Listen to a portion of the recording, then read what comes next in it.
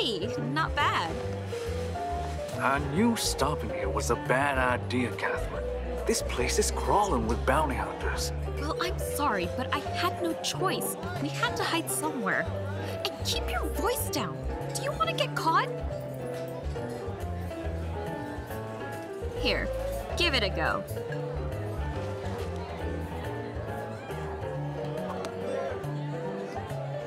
Oh. Good try, John. This is just like you, you know?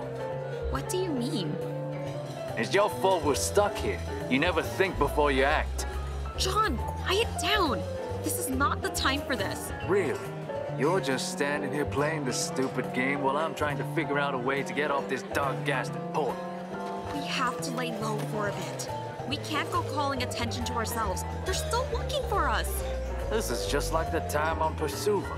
You crashed our ship trying to escape those Novan ships. You had us stranded on that godforsaken planet for a week.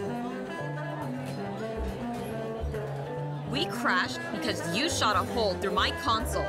I didn't trust that beeping sound it was making. Dang robot was fixing to turn on us. It's a ship console, not a robot. It's supposed to make that sound, you idiot. Whatever. That ship is a hunk of junk anyways. You just had to take that one, huh? You sure know how to pick the little end of the horn. Well, well, what have we here? I knew you losers ducked in here. Hey, boss, we got him cornered in the bar. Good work, Marcus. I'm outside. Well, well. So nice to see you all again.